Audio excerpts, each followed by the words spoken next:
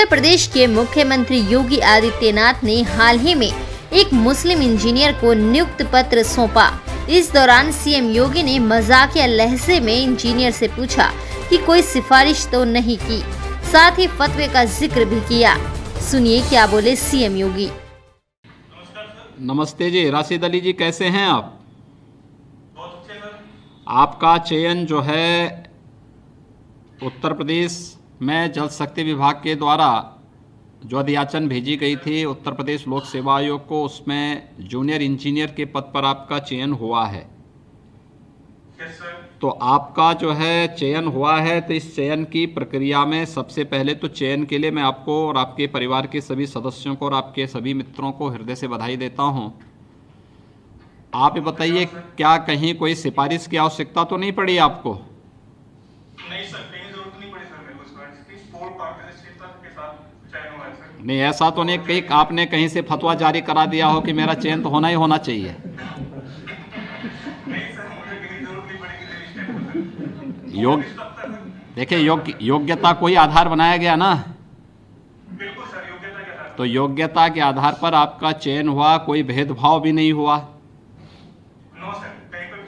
चयन के साथ साथ पदस्थापना में भी कोई भेदभाव नहीं। और यही- जो चॉइस थी वही नहीं यही सरकार की नीति भी है कि हम लोग मनुष्य मनुष्य के साथ कोई भेदभाव नहीं करेंगे, योग्यता और समान अवसर लोगों को देने का प्रयास करेंगे।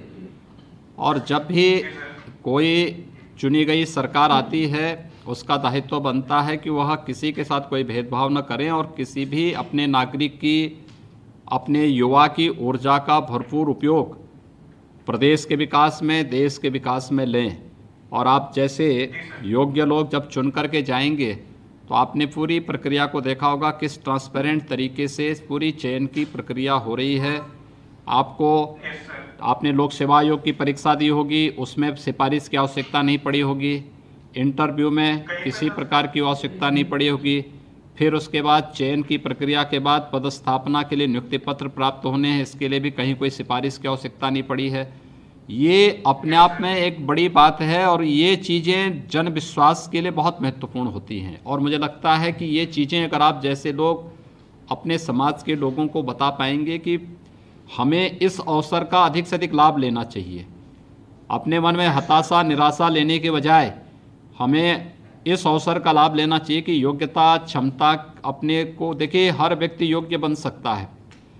और उस योग्यता के अनुरूप अपने आप को तैयार करके आगे बढ़ने की आवश्यकता है। आपने जो सफलता प्राप्त की है, आपको मैं इसके लिए बहुत बधाई देता हूँ, अपनी शुभकामनाएँ देता हूँ और आपके परिवार के सदस्यों को भी बहुत बहुत बधाई। वीडियो को लाइक और शेयर करना मत भूलिए और हाँ अगर आप ये वीडियो YouTube पर देख रहे हैं तो हमारे YouTube के चैनल को सब्सक्राइब ज़रूर करें और अगर आप Facebook पर देख रहे हैं तो Facebook के पेज को लाइक ज़रूर करें। जुड़े रहिए देश और दुनिया की ऐसी ही अलग अलग खबरों के लिए न्यूज़ टाइम्स 24 के साथ।